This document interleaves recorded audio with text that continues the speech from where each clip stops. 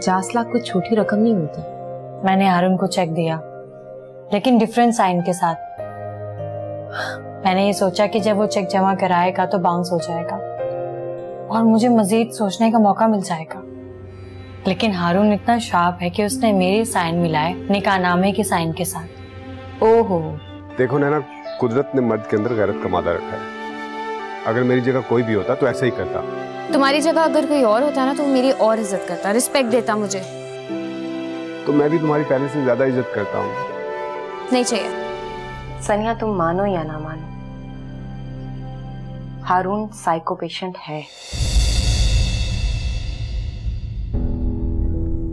और मुझे कई बार ऐसा लगा है। मुझे ऐसा लगा है कि हारून मेरी जान ले लेगा क्या हो गया भाभी?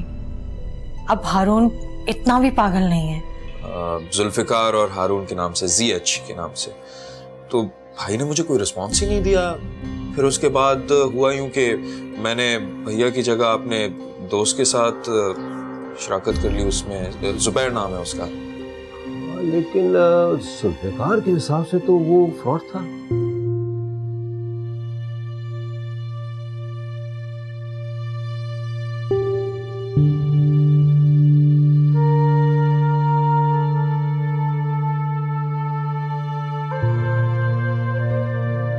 मिलने जाऊँ या ना जाऊँ? ये इशू ऐसा है कि मुझे इस पर स्टैंड लेना चाहिए ताकि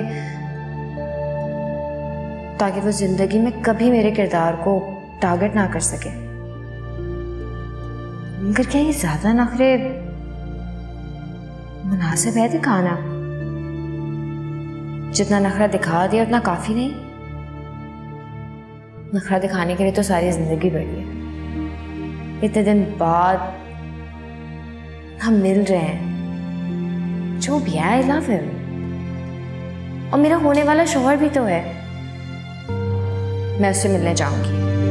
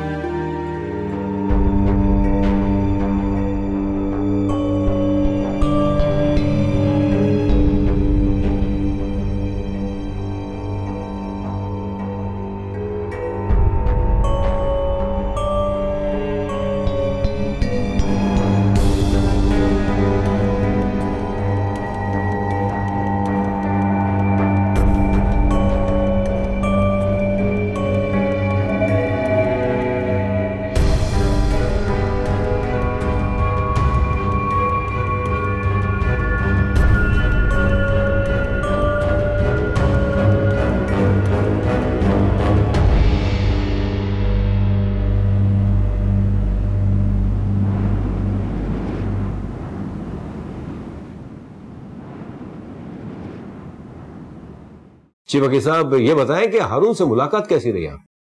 सर यकीन कीजिए हारून साहब एक बहुत शार्प आदमी है। इसका तो मुझे भी अंदाज़ा है। ये बताएँ कि वो आपसे मिलना क्यों चाह रहे थे? ज़ाहिर है अच्छे ताल्लुकात बनाने के लिए। वकील के पास जायदाद की सारी डिटेल होती है। हम्म। तो आपको उनकी बातों से ऐसा लगा कि वो सनिया की जायदाद के बारे में आपसे मालूम चाह रहे हो? ऑफ़ कोर्स सर हालाँकि उन्होंने बड़े मोहतात अंदाज में सवाल किए। पहले अपनी जायदाद के बारे में बताते फिर सरसरे अंदाज में मिस सनिया की जायदाद के बारे में पूछते देखिए वकील साहब वो जितना चालाक है ना उतना ही बड़ा बेवकूफ़ है। और उसकी बर्बादी की वजह सिर्फ़ ये है कि वो बतख को तैराकी सिखाने की कोशिश कर रहा है। सर मुझे इस मुलाकात के कुछ एग्जैक्ट वक्त तो याद नहीं। मगर लुब्बे लबाब ये है कि वो मिस सनिया के बिज़नेस को कैप्चर करना चाह रहे सर मेरा तो मशवरा है उन्हें अपने बिज़नेस से दूर रखें ठीक है थैंक यू वेरी मच वकील साहब। बहुत बहुत शुक्रिया। ठीक है सर।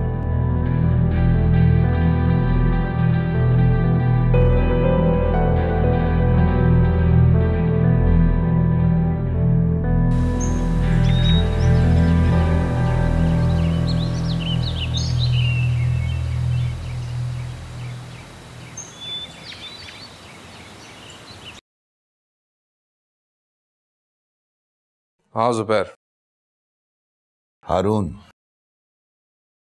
कैसा है बैठो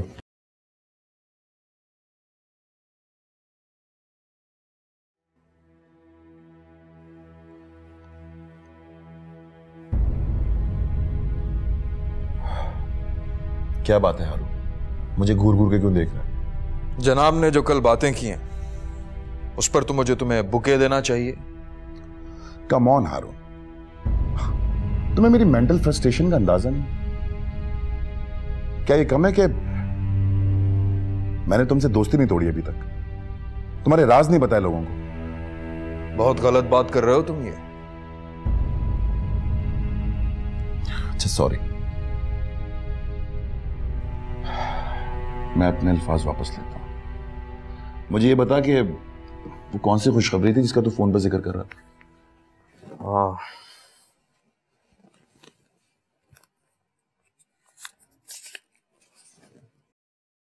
पचास लाख रुपए का चेक है ये। वाओ। पचास लाख?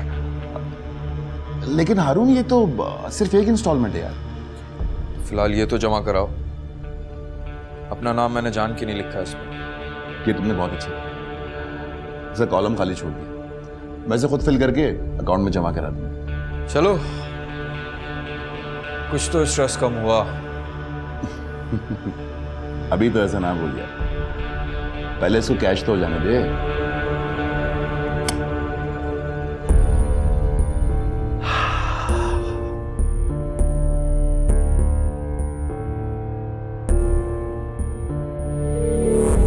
ठीक है। ओके अंकल अब और कोई ज़रूरी बात?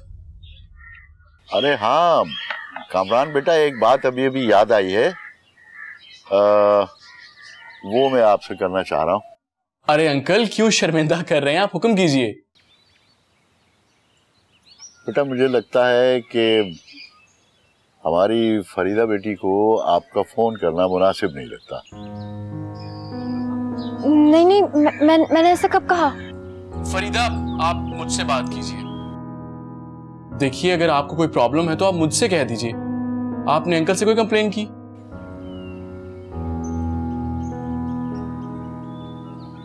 नहीं वो मैं उस वक्त थोड़ी मसरूफ थी।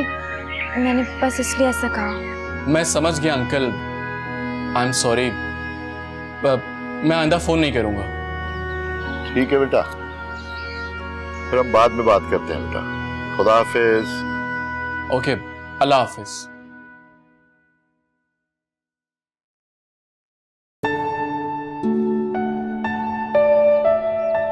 पापा, आपने ऐसा क्यों कहा? देखो, फरीदा बेटी, एक बात तुमसे करना चाह रहा हूँ कि हमारी तरफ़ से कोई प्रेशर नहीं है, ना मेरी तरफ़ से, ना तुम्हारी माँ की तरफ़ से। मुझे इस सोच के ये बता दो कि क्या तुम कामरान को अपने दिल से कबूल कर सकती हो?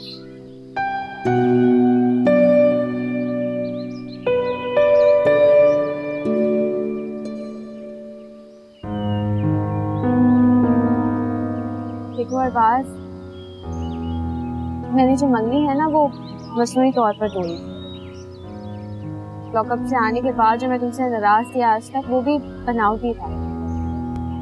लेकिन जो इल्ज़ाम तुमने मेरे किरदार पे लगाया उससे मैं बहुत हर्ट हुई देखो इस बात को जितनी बार दोहराओगी मैं शर्मिंदा होऊँगा। सो so, आखिरी बार मुझे माफ़ कर दो। एक औरत अपने ऊपर कोई भी इल्ज़ाम कोई भी बहतान बर्दाश्त कर सकती है। लेकिन अपने किरदार पे लगा हुआ दाग वो कभी बर्दाश्त नहीं कर सकती। नैना मेरे नज़दीक तुम पहले दिन से बहुत बुलंद किरदार थी। ये तो उन कम वक्तों ने ऐसी प्लानिंग की थी कि मैं उनके धोखे में आ गया। खैर अब तो तुम्हें भी पता चल गया ना कि किस हद तक वो गिर सकते हैं। मैं भी उन्हें इतना बुरा नहीं समझती। देखो अब मैं तुम्हारे अच्छे कामों की राह में कभी भी रुकावट नहीं बनूँगा। बल्कि हम जो भी करेंगे मिलकर करेंगे। वादा? वादा करता हूँ कसम खाता हूँ। अब मैं वो बात करूँ जिसके लिए मैंने तुम्हें यहाँ बुलाया। वो क्या? मैं चाहता हूँ कि अब हमारी शादी मजीद लेट ना हो। अगर तुम कहो तो मैं बाबा और अम्मी को तुम्हारे यहाँ भेज दूँ डेट फिक्स करने के लिए। मैं भी यही चाहती हूँ कि हमारी जल्द से जल्द शादी हो जाए।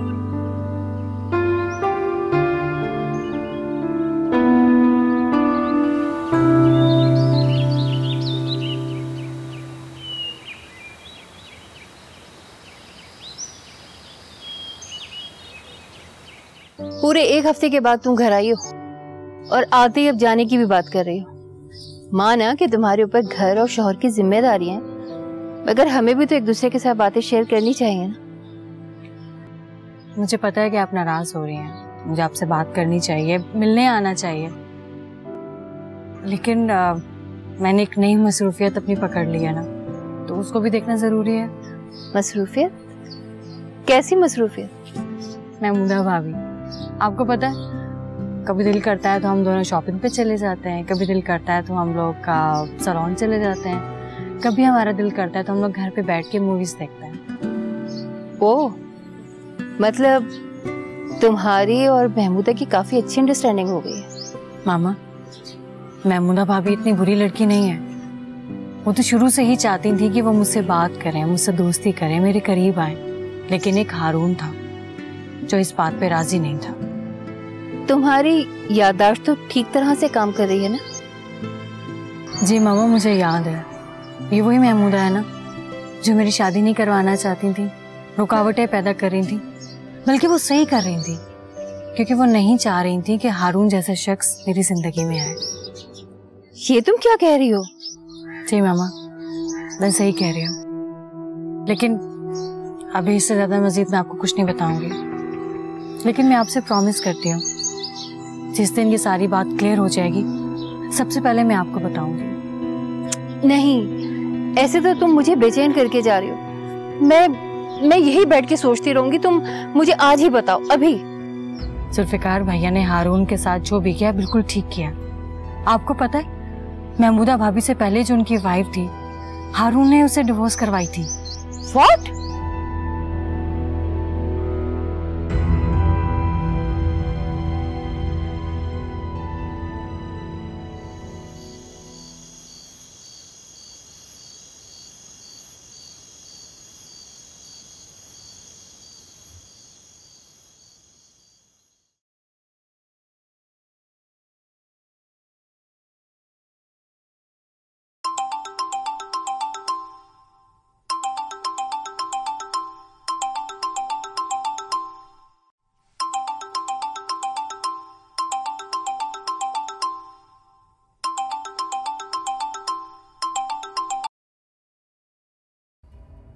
भैया सो रहे हैं। कबड्डी खेल रहे हैं। रात के दो बजे सोएँगे नहीं तो और क्या करेंगे? हम्म, इसीलिए तो फ़ोन किया कि सनिया भी सो रही है और भैया भी। तो? ज़रूरत क्या थी तुम्हें इस वक्त फ़ोन करने की? ताकि तुम्हारा भेद भैया और सनिया के सामने न खुल सके। भेद हाँ। भेद। कैसा? भेद जरा अपने कमरे से बाहर आओ। सब बताता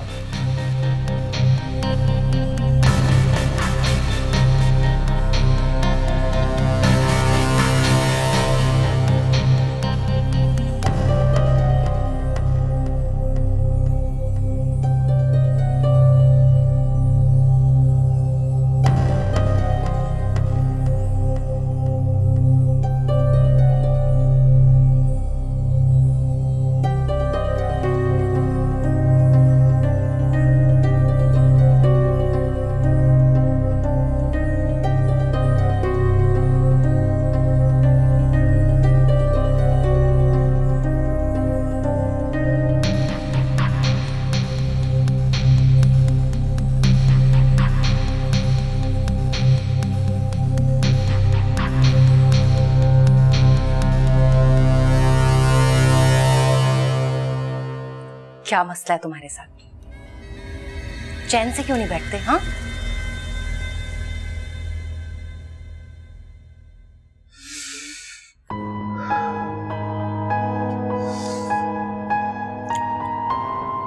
यही जानने के लिए तो तुम्हें यहाँ बुलाया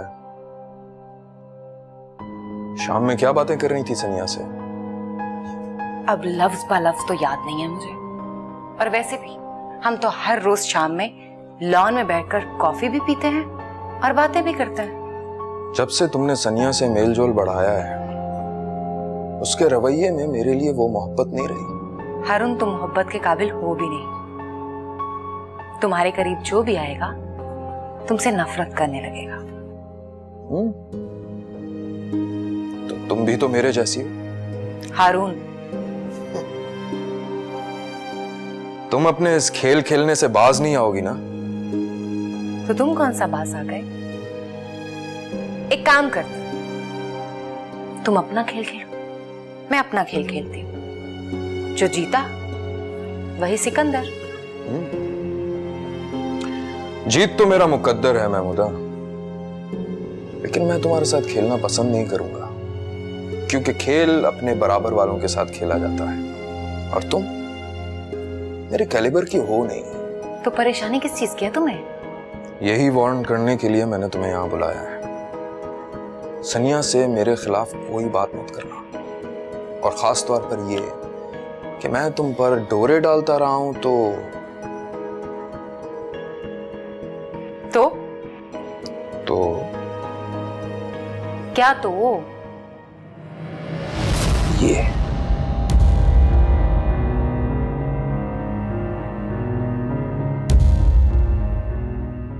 आ।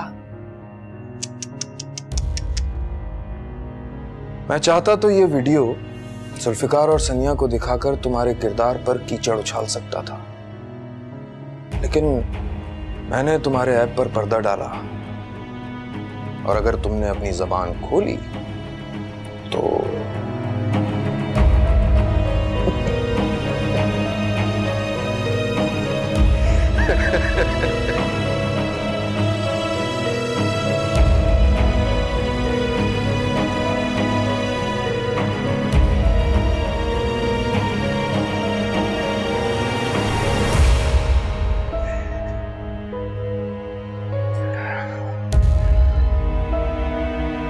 सर बिल्कुल विज़िट कर लिया। लेकिन जो प्लाट नंबर आपने बताया था वहाँ तो कोई फैक्ट्री है ही नहीं।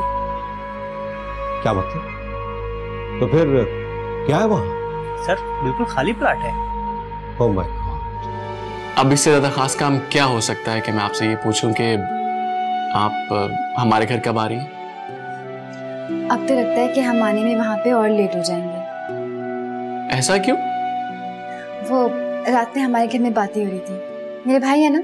उनकी शादी हो रही है। तो बस मेरे पेरेंट्स उनकी डेट्स फिक्स कर रहे थे। अब हो सकता है कि हम शादी के बाद ही आपके घर में आए। क्या तुम्हारा राब्ता अभी भी हारून के साथ है? नहीं बस एक ही दफ़ा मुलाकात हुई थी। फराज मुझे एक बात बिल्कुल सच बताओ। कहीं ऐसा तो नहीं है कि तुमने हारून को बता दिया है कि हम कहाँ मिल रहे हैं? अरे नहीं भाई मैं क्यों बताऊँगा उसे? लेकिन बात क्या है? उसके पास हमारी कल की मुलाकात की वीडियो है। मैंने खुद देखी है। अगर और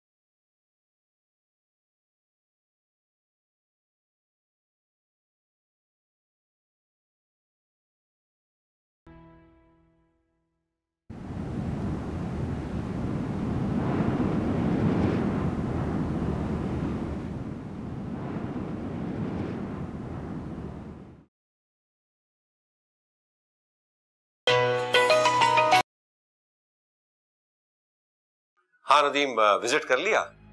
जी सर बिल्कुल विज़िट कर लिया। लेकिन जो प्लाट नंबर आपने बताया था वहाँ तो कोई फैक्ट्री है ही नहीं। क्या मतलब तो फिर क्या है वहाँ? सर बिल्कुल खाली प्लाट है। ओ माय लेकिन अगर उस प्लाट के बारे में आपको कुछ पता करना है अभी तो मैं आ गया हूँ तो सुबह जाते ही पता कर लेता हूँ। अब नहीं नहीं नहीं। उस प्लाट की मिल्कियत मैं खुद मालूम कर लूँगा के लिए तुम कल ऑफ़िस आ जाओ। ओके सर हाँ। इसका मतलब ये है कि उसने ये छोड़ किया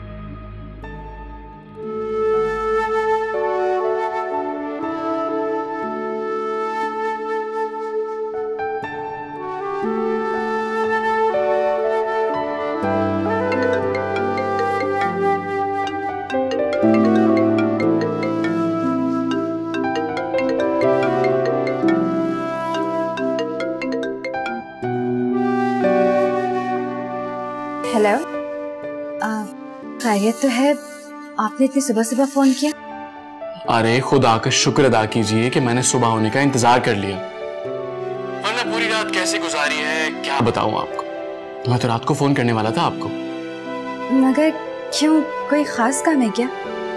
अब इससे ज़्यादा खास काम क्या हो सकता है कि मैं आपसे ये पूछूँ कि आप हमारे घर कब आ रही हैं? अब तो लगता है कि हम आने में वहाँ पे और लेट हो जाएँगे। ऐसा क्यों? रात में हमारे घर में बातें हो रही थी। मेरे भाई है ना उनकी शादी हो रही है। तो बस मेरे पेरेंट्स उनकी डेट्स फिक्स कर रहे थे। अब हो सकता है कि हम शादी के बाद ही आपके घर में आए। चलें ये भी अच्छा हुआ।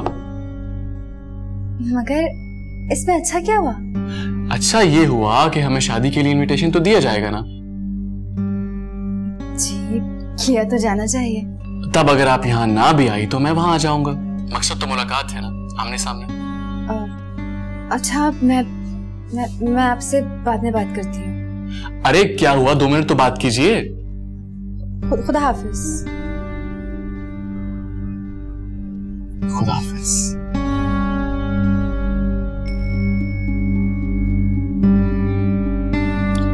अम्मी जान नाश्ते ले आइए प्लीज़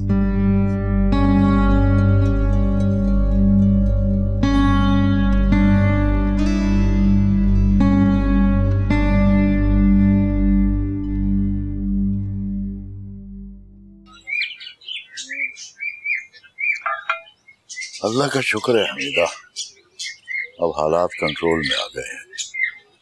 बस वही बात है कि इंसान साबित कदम रहे और उस अल्लाह की तरफ़ नज़रें जमाए रखे तो वो रहम फरमा देता। खुदा का लाख लाख शुक्र है। उसने हमारी लाश रख ली। वरना मुझे तो सारी ज़िंदगी नैना को खोने का अफसोस ही रहता। सिर्फ़ नैना जैसी बहू का ही नहीं कामरान जैसे दामाद का भी शुक्र अदा करो। सही कह रहे हैं। अल्लाह ने हमारी बेटी की भी सुन ली। आपसे एक मशवरा करना था क्यों ना हम शादी पर कामरान और उसकी वालदा को इनवाइट कर लें? भाई अभी तारीख तो तय हुई नहीं और शादी में शिरकत के लिए शादी के मामला है भाई शादी की तैयारी करने में टाइम लगता है। करें फ़ोन उनका नहीं मेरी मंशा कुछ और थी। अच्छा आप अपनी मंशा बता दीजिए। मैं ये चाहता हूँ कि उन दोनों को अभी से बुला लिया जाए ताकि फरीदा और कामरान एक दूसरे को अच्छी तरह से देख लें। और अगर लड़की लड़का राज़ी हो जाएँगे तो फिर हमें फरीदा को लाहौर पढ़ने भेजने की भी ज़रूरत नहीं रहेगी। अच्छा। तो आप चाहते हैं कि फरीदा वहाँ शादी करके ही जाए? तो क्या मैंने गलत सोचा था? नहीं बिल्कुल ठीक सोच रहे हैं। आप कभी गलत सोच ही नहीं सकते। बस फिर जल्दी से उनको फ़ोन मिलाइए हाँ ठीक है।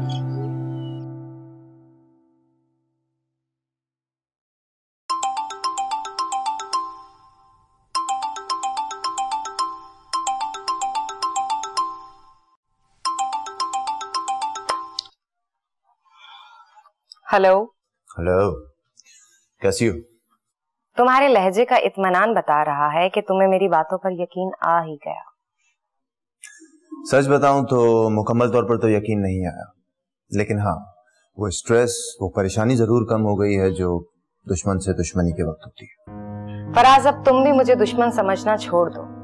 मैंने सच्चे दिल से तुम्हारी तरफ़ दोस्ती का हाथ बढ़ाया। और इस दफ़ा मैं दिल से तुम्हारी दोस्ती का हाथ थामूँगा। और पता है इस दफ़ा हमारी दोस्ती बहुत मज़ेदार चलेगी क्योंकि ना ही तुम शादी पे इंसिस्ट करोगी और ना ही हाँ एक बात पूछूँ? लेकिन सच बताना। जी जानी पूछिए। क्या तुम्हारा राब्ता अभी भी हारून के साथ है? नहीं बस एक ही दफ़ा मुलाकात हुई थी। फराज मुझे एक बात बिल्कुल सच बताओ। कहीं ऐसा तो नहीं है कि तुमने हारून को बता दिया है कि हम कहाँ मिल रहे हैं। अरे नहीं भाई मैं क्यों बताऊँगा उसे? लेकिन बात क्या है? उसके पास हमारी कल की मुलाकात की वीडियो है। मैंने खुद देखी है। पता नहीं अगर ऐसा है भी तो महज इत्तेफाक है क्योंकि मेरी इस बारे में उससे कोई बात नहीं। अच्छा ठीक है। तुम मुझे बार बार फ़ोन मत किया करो। मेरे इर्द गिर्द काफ़ी लोग होते हैं। जब भी टाइम मिला करेगा मैं तुम्हें फ़ोन कर लिया करूँगी। Okay okay. लेकिन जरा जल्दी जल्दी मौका निकालना क्योंकि ये दोस्ती बढ़ाने का तो अब मेरा खुद से दिल चाहने लगा। ज़रूर। अब मैं फ़ोन बंद करती हूँ। अच्छा चलो ठीक है। ओके।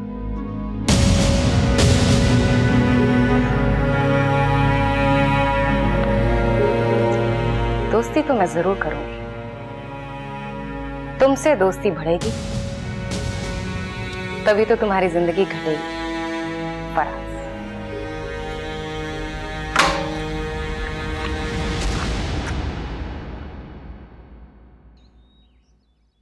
अम्मी आप यहाँ क्या कर रही हैं? मैं आपको कब से अंदर ढूंढ रही हूँ और आप यहाँ आके बैठ गई। बेटा मैं थक गई थी। असल में ये सारा लॉन साफ़ करवाया है और अभी अंदर कमरे भी साफ़ करवाने हैं। क्यों? कोई आ रहा है क्या? भाई के ससुराल वाले आ रहे हैं? नहीं बेटा भाई के ससुराल वाले नहीं आ रहे तुम्हारे ससुराल वाले आ रहे हैं। मेरे ससुराल वाले? हाँ कामरान और उसकी अम्मी कराची आ रहे हैं। देखिए अम्मी ये बात बिल्कुल ठीक है कि मैंने ये फैसला आप दोनों पे छोड़ा है। मगर इसका मतलब ये नहीं कि आप उस कमरान को मेरे ससुराल वाले कहें। बेटा हम कब कह रहे हैं कि तुम जल्दी शादी कर लो? हम तो बस चाह रहे हैं कि बात पक्की हो जाए। अच्छे रिश्ते बार बार नहीं मिलते। कामरान और उसकी माँ से हम खुद बात कर लेंगे। और कामरान बहुत अच्छा लड़का है। मेरी दिली ख्वाहिश है कि तुम्हारी शादी उससे हो जाए।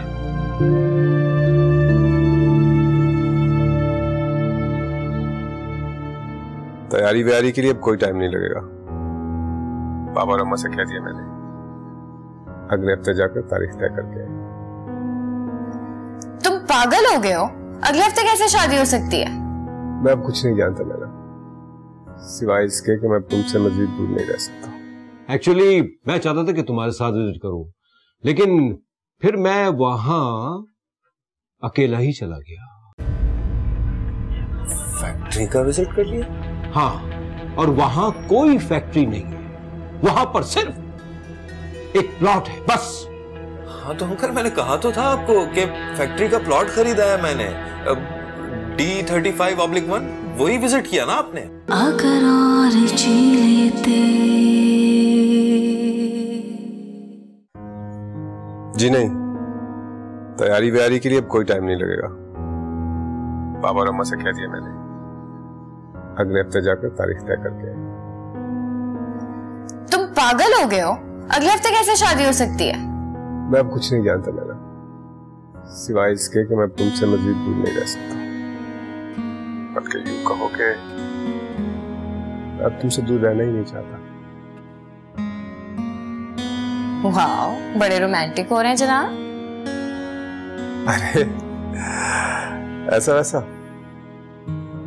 अजीब सी एक्साइटमेंट है। इन जज्बों को पहली बार महसूस कर अब एक बात बोलूँ? हाँ कहो। अब देर तक तो तुम बाहर रह नहीं सकती। वरना मैं सोच रहा था कि कैंडल लाइट डिनर करते। शादी के बाद ना हम कैंडल लाइट डिनर्स पे जाया करेंगे। ऐसे पते मोहब्बत में इजाफा होता है। क्या बोला? हाँ इजाफा हो जाता है। देखो ना इंसान अगर बीमार हो या उसकी नींद ना पूरी हो तो वो क्या करता है? दवाई लेता है। उसी तरह जैसे आपकी मोहब्बत कमज़ोर पड़ने लगे या आपके बीच डिफरेंसेस आ जाए तो आपको अपने रवैये में थोड़े से चेंजेस लाने पड़ते हैं ताकि वापस से आपकी मोहब्बत अच्छी हो जाए ताज़ा दम हो जाए। अब हम अपनी मोहब्बत को कभी भी कमज़ोर नहीं होने देंगे। अच्छा तो मैं ये कह रहा था कि अगर कैंडल लाइट डिनर नहीं तो क्या शाम की चाय इकट्ठे पी सकते हैं? बिल्कुल। ओके ओके खुदा हाफिज।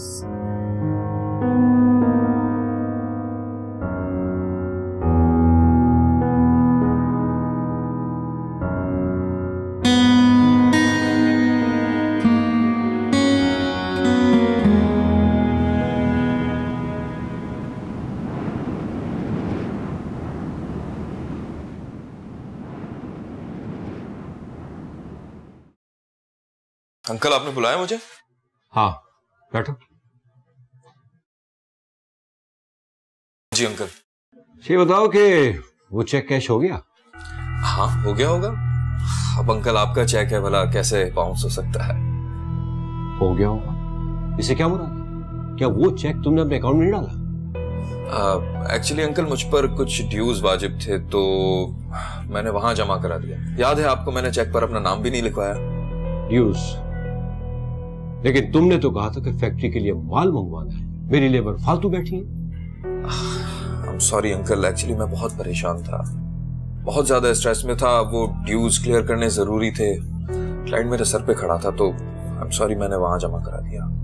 हम्म। इसका मतलब तो ये हुआ कि तुमने मुझसे गलत बयानी की। नहीं अंकल मैं क्यों भला गलत बयानी करूँगा? फैक्ट्री का काम चल रहा है। इंतज़ाम में लगा हुआ हूँ मैं। जैसे ही पूरे होंगे तो मैं लेबर भी बहाल कर दूँगा। और फिर जैसे ही मुनाफा हुआ तो मैं आपका कर्जा भी चुका दूँगा। अच्छा। तुम एक काम क्यों नहीं करते हारून? अपनी फैक्ट्री का मुझे विज़िट करवाओ। भाई हो सकता है उसे देखकर मैं मजीद इन्वेस्टमेंट करूँ। अरे अंकल आप इतना दूर कहाँ जाएँगे? एक्चुअली कुछ दिनों से मेरी तबीयत ठीक नहीं है। कुछ बेहतर हो जाए तो फिर हम दोनों साथ चलेंगे। अरे भाई मैं तो ये कहने जा रहा था कि तुम्हारी फैक्ट्री का विज़िट तुम्हारे साथ करूँ तुमने तो मेरी बात ही पूरी नहीं होने दी और बीच में से बात काट दी। आई एम सॉरी जी कहिए। एक्चुअली मैं चाहता था कि तुम्हारे साथ विज़िट करूँ लेकिन फिर मैं वहाँ अकेला ही चला गया। फैक्ट्री का विज़िट कर लिया? हाँ और वहाँ कोई फैक्ट्री नहीं है। वहाँ पर सिर्फ़ एक प्लॉट है बस। हाँ तो अंकल मैंने कहा तो था आपको कि फैक्ट्री का प्लॉट खरीदा है मैंने। D thirty five oblique one वही विज़िट किया ना आपने? अरुण तुमने मुझसे कहा था कि फैक्ट्री वीरान पड़ी है उसके लिए माल मंगवाना है मेरा लेबर जो है ना फालतू बैठा हुआ है। अरे नहीं अंकल आपको कोई गलत फहमी हुई? है मैंने ऐसा कहा ही नहीं था। मैंने तो कहा था कि प्लॉट खरीदा है फैक्ट्री के लिए। और और रही बात लेबर की तो मेसन मिस्त्री से मेरी मुराद थी। और माल तो वही होगा ना।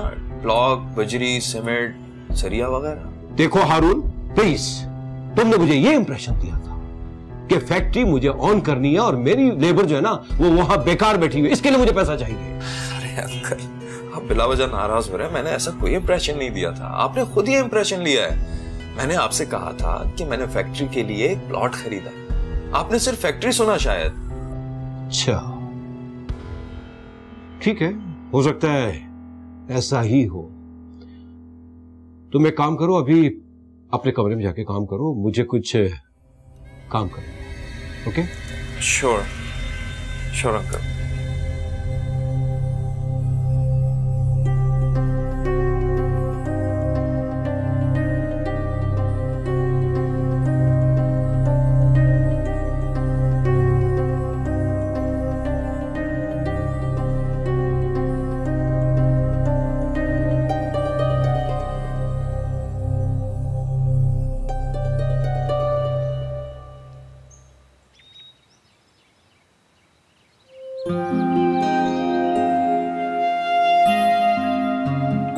Farida बेटी? हाजिया ये मेरी बेटी ये पुप्पो वालेकुम अस्सलाम जीती रहो। माशाल्लाह अपनी तस्वीर से ज़्यादा प्यारी हो। और फरीदा बेटी ये कामरा भाई भाभी से मिलते हैं? हाँ हाँ चलो आओ मैं मिलवाता हूँ।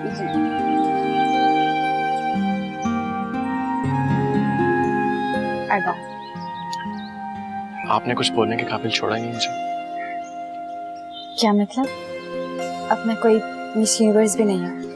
जिसको आप इस तरह देखते के देखते रह गए।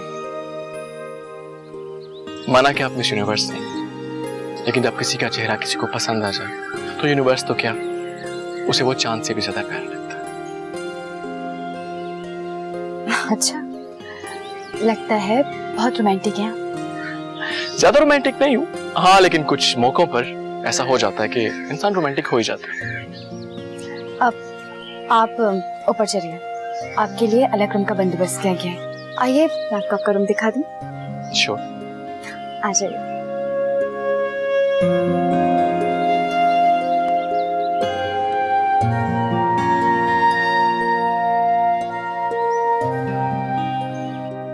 क्या तो वो सही रहा है?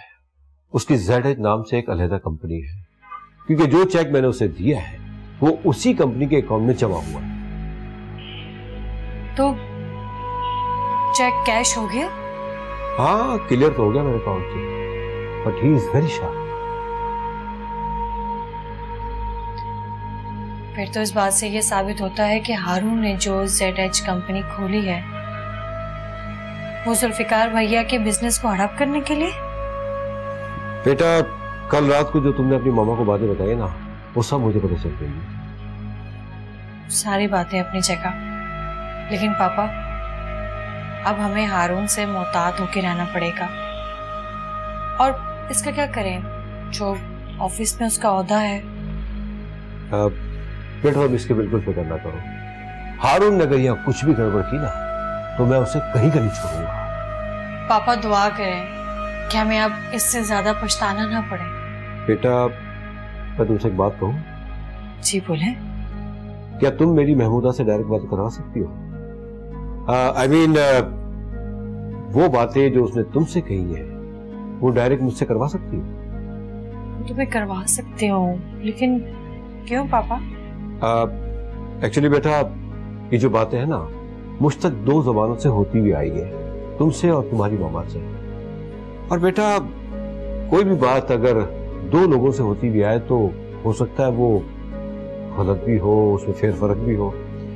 इसलिए बेटा मैं महमूदा से हारून के बारे में डायरेक्ट बात करूँगा और अपने पॉइंट ढूंढूँगा और फिर महमूदा से जवाब दूँगा अभी तो महमूदा अपने भाई की शादी में बिज़ी है। मैं बात करके देखूँगी। ठीक है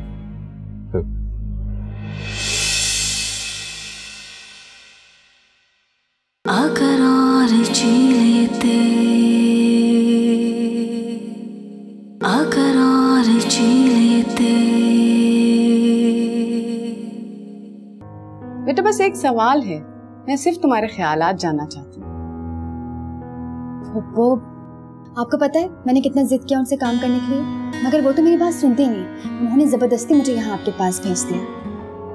पापा ने कुछ सुना। ये जो सुना वो गलत सुना। ये मैं कभी भी नहीं मान सकती। क्योंकि पापा जब भी बात करते हैं वो अपने कान और आँख खुले रखते हैं। अच्छा तो मतलब मैं झूठ बोल रहा हूँ? इससे पहले तुमने भैया के साथ और बाकी लोगों के साथ जो कुछ किया बस वो यहाँ मत करना। मेरे दिमाग में एक कमाल का आइडिया अबे चोर पुलिस! अबे आ आ, आ, आ, आ, आ, आ, आ, नहीं नहीं गोली नहीं मारना।